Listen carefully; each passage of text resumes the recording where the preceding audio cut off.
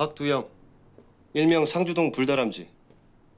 건설 현장에서 폭파 작업을 했고 2012년 폭발 사고를 내서 인근 가옥 20여 채가 전소. 그리고 2016년 상습 방화로 한주석 경과 함께 잡혀 옥살이를 하다가 최근에 출소했어. 억울함을 호소하면서 협박 메일을 지속적으로 보내는 것까지. 현재로선 이놈이 가장 유력한 용의자다. 팀장님, 1조는 연고지를 중심으로 잠복하고 2조는 이메일 IP 주소 추적해. 일단 신병 확보부터 한다. 팀장님, 조영사는 관할서에 협조 공문 보내고. 네. 자 해산해.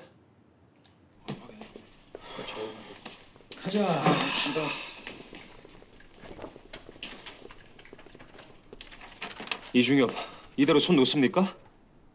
미행이라도 붙여볼 수 있잖아요. 지금 불법 수사하자는 거야?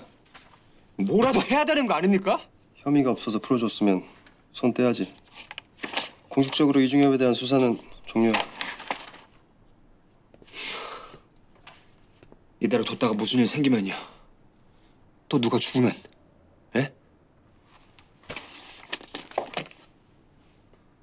아, 맞아. 누가 죽어야 돼. 누구 하나가 더 죽어나가는 거. 그게 지금으로선 우리한테 유일한 기회니까. 다만 언제 어떻게 누굴 죽일지 그걸 모르는 게 문제지. 그걸 알아낼 수만 있다면야 좋겠지만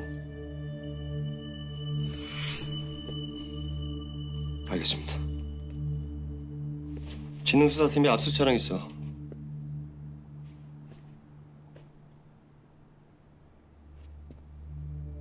지금부터 네가 뭘 하건 공식적으로 우리 수사팀하고 아무 상관없는 거야. 알겠어?